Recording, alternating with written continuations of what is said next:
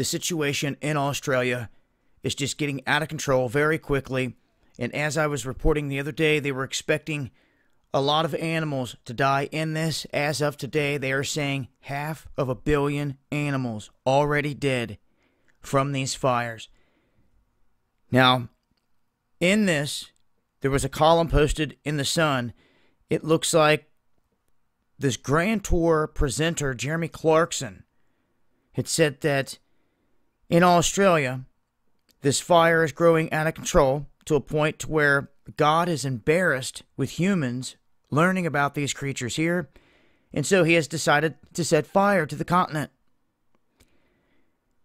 Now, they refuse to speculate over what caused these fires. There has to be some underlying cause. Natural or not, it needs to be talked about, not ignored, and I find that very suspect. He goes on to say that this is, well, he describes this as being something biblical in proportions.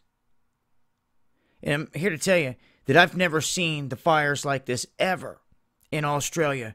Never seen this amount of wildlife dropping dead. It is insane. Half of a billion animals. And it's like the rest of the world is caught up in something else. I know what what much can we do? Well, we can demand answers is one thing. And never stop doing that. Always ask the questions until we can get those answers.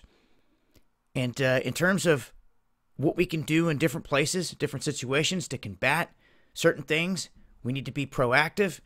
But you can't do much of anything if you don't know what the underlying cause is. In fires all the time, they always track it back to it was a cigarette butt, or it was a spark, or it was lightning, or it was this and that. It should be no different in this situation. Yet nothing's being said driving people literally out of their homes and into the water, as we talked about the other night. So I will continue to update on this. Make sure to check out my Twitter. I was tweeting out images and video clips from there. I'll leave links below. Much love, y'all.